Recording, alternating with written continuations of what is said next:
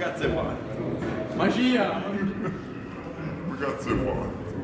If I was the student, would you be the teacher? If I was the sinner, would you be the preacher? Would you be my Mr. Dun dun dun dun? Ciao Cristina, bentornata nel canale. Ce l'ho fatta portare anche la Cristina nuovamente. Arte, 4 assi per la precisione. Guarda, vado a mostrarti il primo asso che è l'asso di fiori. Ok? E dammi la tua mano, mettila così, come a pinzare. Piglio l'asso di fiori e te lo metto qua. Stringi forte, eh. Ora piglio la seconda carta che è l'asso di picche e vado a mettere anch'esso qua, però lo metto sotto sopra, sopra sotto, sotto sopra, sotto sopra, sopra sotto, sotto sopra, sotto. Lo metto sotto. Aspetta, a memoria tua. Quale asso è sotto e quale è sopra? Picche sopra, fiori Picche sopra e sotto? fiori. Picche sopra e fiori sotto. Brava. E mano tua? Quest'oggi voglio farti un gioco di magia con sole 4 carte. Giusto? Puoi vedere anche te che sono solo 4 carte. Ora Gigi, io prendo la prima carta che è un asso di picche e lo voglio mettere in mano tua. Fai così, come a pinzare, e l'asso di picche va qua. Stringilo bene forte. Poi prendo la seconda carta che è un asso di, dillo pure tu, fiori. Questo è asso di fiori. Ok. E lo vado a mettere sotto. No, sopra, sotto, sopra, sotto, sotto, sopra, sopra, sotto, sotto, sopra, sotto, sopra, sotto. A memoria tua, che carta è sotto e che carta è sopra?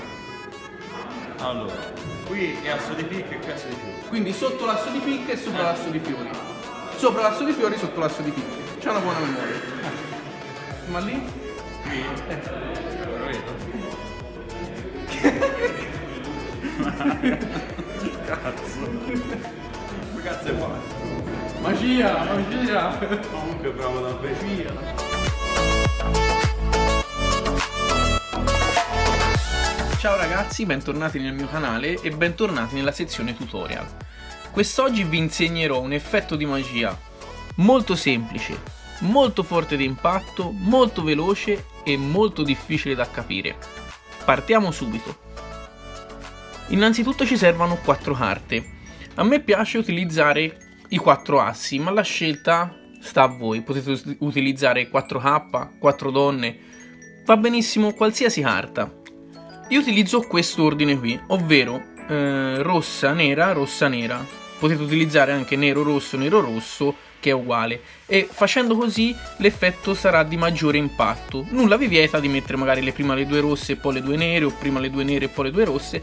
Però se sfalsate l'ordine dei colori, il gioco risulterà di impatto maggiore. Voi mostrate le quattro carte allo spettatore dicendo che farete un gioco con quattro assi e quando andate a chiudere prendete un break fra la seconda e la terza carta. Dopodiché girate le prime due carte come se fossero una e gli dite che la prima carta è un asso di picche, ma in realtà voi ne avete girate due. Mostrate l'asso di picche e dite allo spettatore di porgervi la mano facendo questo gesto qui come a pinzare la carta. Dopodiché rigirate e dite l'asso di picche lo metto in mano tua. In realtà voi avete appena messo l'asso di cuori. Dopodiché dite allo spettatore che girerete la seconda carta. Cosa dovete fare? Semplicissimo, con il pollice spingete in basso la prima carta, col pollice della mano sinistra, mentre col pollice della mano destra, indice e medio andate a pinzare seconda e terza carta e le portate su. Per lo spettatore, per chiunque vi guarda, voi avrete girato la seconda carta, ma voi in realtà avete gira- girato la seconda e la terza carta. Dopodiché, appunto, gli mostrate l'asso di fiori e gli dite che anche l'asso di fiori andrà nella sua mano. Il fatto di fare sopra sotto sopra sotto serve per far distrarre lo spettatore, perché nel mentre voi farete quello lì, lui sarà talmente concentrato a vedere dove voi state andando a posizionare l'asso che escluderà ogni qualsiasi possibilità che voi abbiate fatto qualche movimento strano, qualche double lift o cose del genere. Per questo questo effetto è molto veloce e molto forte perché non lascia allo spettatore il tempo di riflettere. E il fatto che voi andate a dire lo metto sotto e lo appoggiate sopra, questo farà credere allo spettatore che voi abbiate sbagliato. Che lui sia stato più furbo di voi nel vedere dove avete messo le carte. Quindi poi a questo punto voi gli dite, a memoria tua, quale asso è sopra e quale è sotto? Lui sarà convinto che voi abbiate sbagliato mettendo l'asso che è sotto sopra e quindi vi dirà l'asso di fiori sopra e l'asso di picche sotto. E voi, bravo, sei stato attento. Però questi assi sono nella mia mano, non nella tua. La tua mano cos'hai? Boom. Asso di cuore, asso di quadri.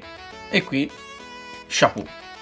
L'importanza di mettere gli assi sfalsati è proprio questo, che vi ritroverete voi con gli assi neri e lui con gli assi rossi, o viceversa. Invece mettendo gli assi eh, all'inizio del gioco, naturalmente vi sto dicendo, eh, prima i rossi e poi i neri, vi farà sfalsare gli assi e secondo me, questa è una versione mia personale, non ha il solito impatto, non è forte come il fatto di avere i colori invertiti. Bene ragazzi anche questo video tutorial è finito, spero vi sia piaciuto, se così è stato mettete un bel like, se vi è stato utile scrivete un commento, almeno a me mi fa piacere, e che dire, ci vediamo in un prossimo video, ciao ciao!